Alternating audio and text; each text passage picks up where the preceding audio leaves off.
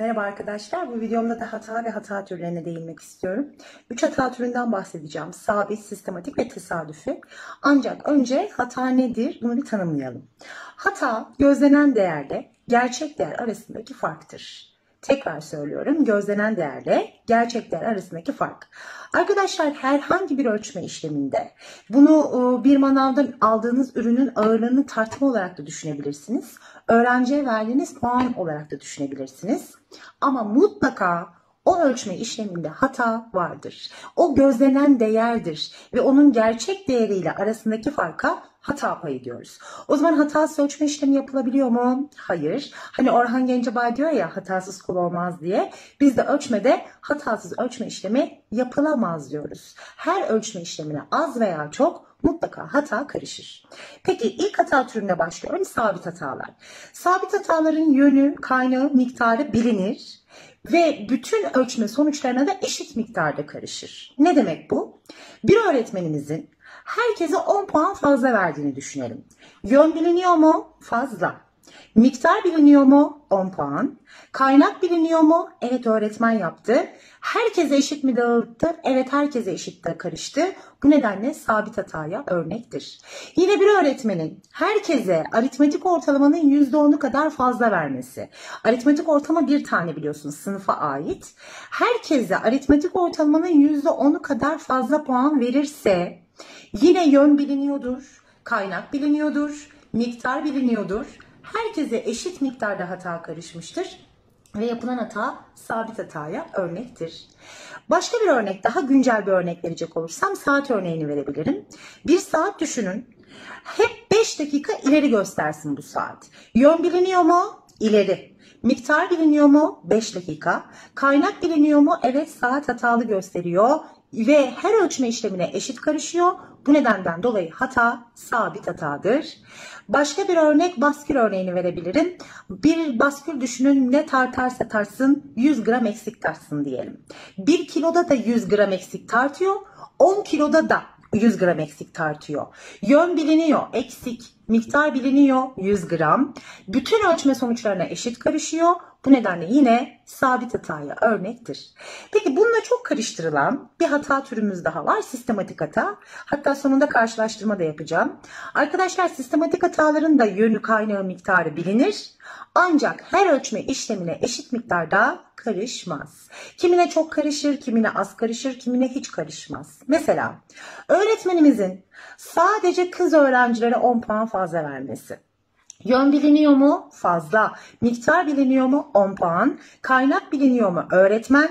Ama sadece kız öğrencilere hata yaptı bakın. Erkek öğrencilere 10 puan fazla vermedi. Bu nedenden dolayı sistematik hataya örnek. Yine öğretmenimizin herkese aldığı puanın %10'u kadar fazla puan vermesi. 60 alan arkadaşıma 6 puan fazla gidecek. 70 alan arkadaşıma 7 puan fazla gidecek. 90 alan arkadaşıma 9 puan fazla gidecek. Yön biliniyor, miktar biliniyor, kaynak biliniyor ama herkese eşit karışmadığı için hata yine sistematik hatadır. Saat örneğini uyarlarsak, şimdi saatimiz hep 5 dakika ileri gidiyordu ve buna sabit hata demiştik. Ancak bu saat her saat başı 5 dakika hata yaparsa 1 saatte 5 dakika hata yapar. 2 saatte 10 dakika. 3 saatte 15 dakika hata yapar. Hata payı değişti mi? Değişti. Evet yine yönü miktarı kaynağı biliniyor ama bütün ölçme işlemlerine aynı miktarda karışmadı. Bir başka örnek şu baskülümüzü uyarlayalım.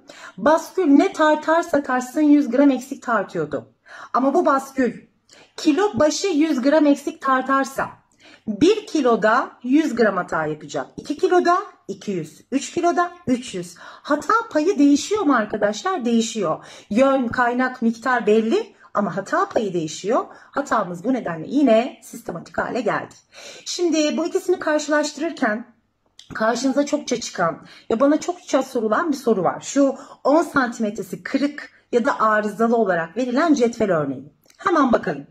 Elimizde bir uzunluk olduğunu düşünelim. 1 metrelik bir uzunluk. Ancak 10 santimetresi kırık ya da arızalı olsun. Ben bu uzunlukla 1 metrelik bir kumaş ölçersem bir defa hata yaparım ve hatam sabit olur. Ancak 1 metreyi geçer ölçümler yaptığım zaman hata payım fazlalaşacaktır. Hata payım değişecektir ve hata artık sistematik olur. 2 metrede 2 kez, 3 metrede 3 kez, 4 metrede 4 kez hata yaparım çünkü. O zaman toparlıyorum. 10 santimetresi kırık ya da arızalı 1 metrelik bir uzunlukla 1 metre ve 1 metreyi geçmeyen ölçümler yapmak sabit hatadır. 1 metreyi geçen ölçümler yapmak sistematik hataya sebep olur. Ve son olarak tesadüf hata diyeceğim. Aslında hatanın tanımına tam olarak uyan hata türü. Çünkü hata bilmeden yapılır ya. İşte tesadüf hatalar da öyle.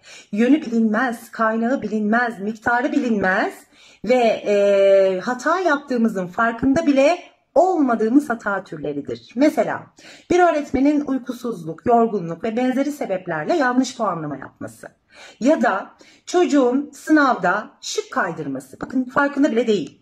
Ya da çocuğun yapamadığı bir soruyu atıp tutması ki buna ölçmede şans başarısı diyoruz. A şıkkı olarak attı diyelim ama cevap Edirne mesela. Yanlış yaptığının farkında mı? Değil. Bu nedenle tesadüfe hataya örnektir. Optiğin yanlış puanlama yapması arkadaşlar. Ortamdaki gürültü nedeniyle çok gürültü olduğunu düşünelim.